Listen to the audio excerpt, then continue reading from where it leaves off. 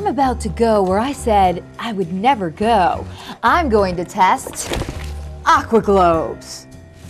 So why wasn't I gonna test them? Let me explain. The commercial makes it look like it's really lame. Plus they look pretty heinous. Nonetheless, a lot of people have some plants out there that they want to keep watered, so I'm here to help.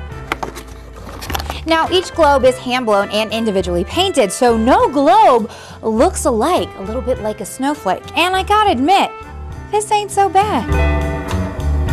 So we've got two plants. No, they're not identical, but they're both about the same size.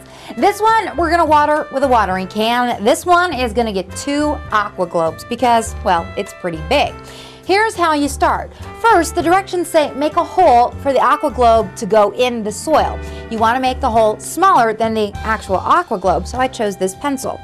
You do this because the aqua globe is fragile, and if you jam it in the soil, you could break it.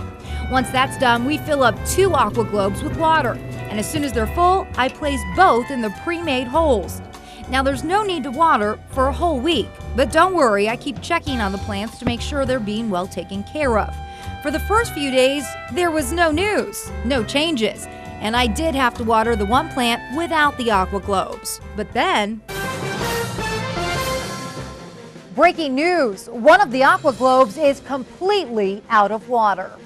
That's right. On day five, one aqua globe drained completely, and the other lost about a quarter of the water inside. Maybe they do work as advertised. As soil becomes dry, it releases oxygen into the aqua globe, which in turn releases the exact amount of water your plant needs. And I guess after five days of nothing, the plant needed a lot of water. One week later, and no news seems to be good news. As you already know, this one's empty and this one's drained a little bit more. So today I must admit, I was wrong. Aqua globes do work and they're actually kind of cool. They're getting a yes in this week's Will It Work test. I'm Michelle Mortensen.